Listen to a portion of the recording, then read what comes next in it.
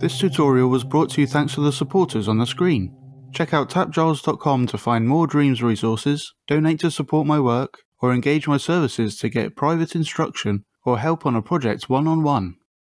With cameras, there's a few ways of uh, animating them, and I'll just put them on a timeline so it's easier. So, one is to just put on a camera. You can actually scope in using L1 and X. And now I'm in the camera, and you can see on the end of the imp there's a camera icon. So then I, if I move it over here, now that camera's over there with that angle.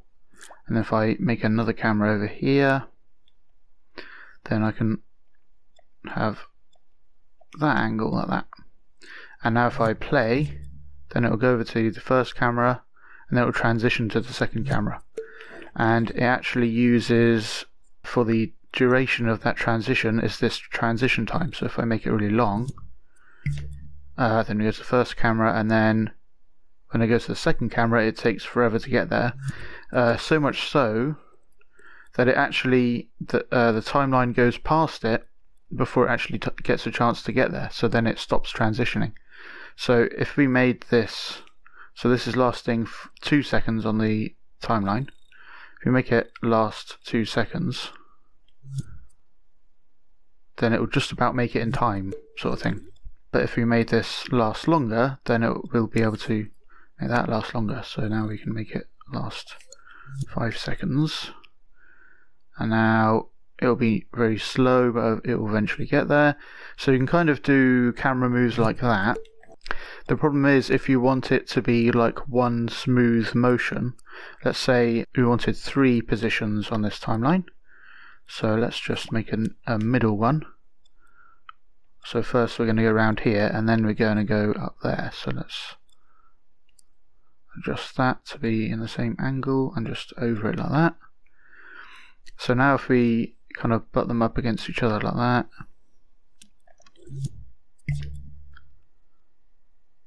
So we just like clearly transition one to the other kind of thing. So you could try and like overlap this and then overlap that maybe. Let's see.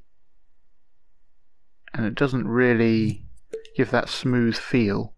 Um, it's still it's it's very hard to get these uh, these like fade in transition times and all that kind of stuff to work kind of perfectly. So if we look at the timeline, you can see roughly what's happening. So um, the latest camera to be on kind of takes over and starts the transition to that.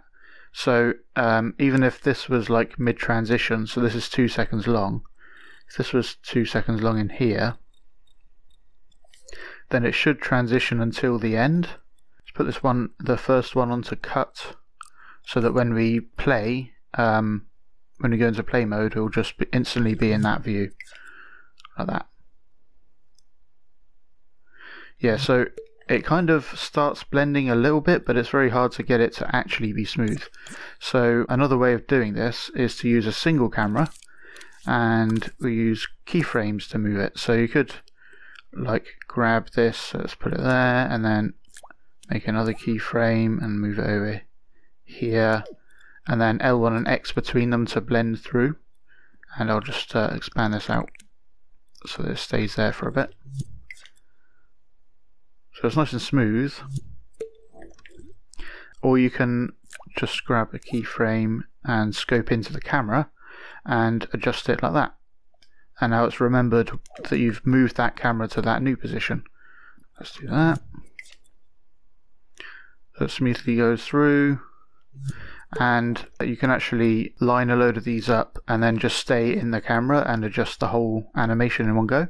So if you add empty keyframes and don't record anything into them and then just copy these so L1 and R2 is to copy, and then you let go of L1 and you can let go of R2, and now you've got a copy. Um, to make multi-clone, you can multi-clone just as normal with any other object. So I can press right on the D-pad or left, and it will go beyond or between.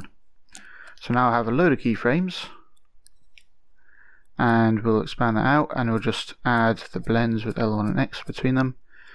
Um, so let's go here and scope into the camera. Put that down there. And now I can use L1 and right to go to the next one or L1 and left to go to the previous one. So I'm just going to move the camera further around here and then maybe down here and back to right right in front of it. And I'll just decide to end the animation there. Let's play that. So go around. Oh I think we missed one.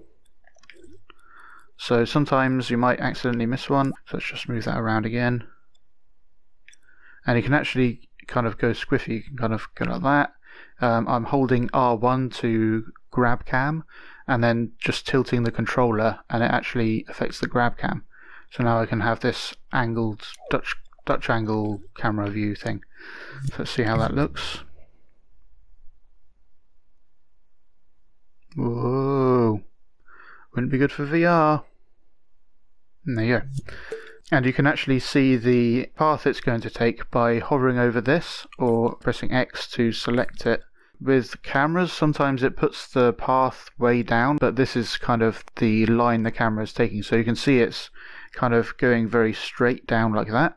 So if you're not keen on that part, you can adjust it.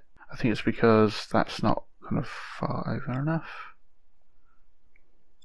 That should affect the actual yeah, so now we've got a more sweeping motion over like that.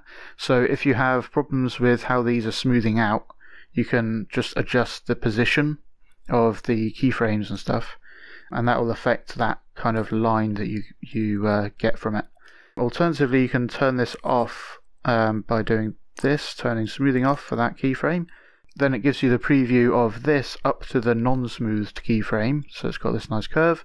And then from here is like from here to here is completely straight because the smoothing is off. And then it has this other smoothed section over here. So then you'll probably notice a kind of jarring corner to it. Like that, so you can kind of feel when, when that starts and ends.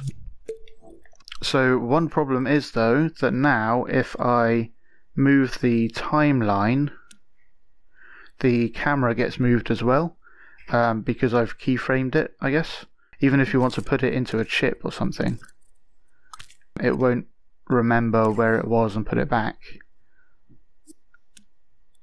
It's just now in a different place. Where is it? It's way over there for some reason. So that's a bit of a problem. So if you want to use a camera like this, a single camera, and move it around, I recommend just leaving the camera in the scene. Just pop it out like that. The problem is now these keyframes and stuff don't make much sense, so you'd have to kind of adjust it uh, to wherever the timeline was. So I'm going to use grid snap and then use L1 and triangle on this. But first I'll leave a little marker maybe, just another gadget nearby. So I want to put the camera next to that. So let's try and pop that out there and move this there. I don't know if this will work at all. Let's find out. So that seems to kind of work. Um, your mileage may vary, or you can just start off with the camera in the scene and just not worry about it.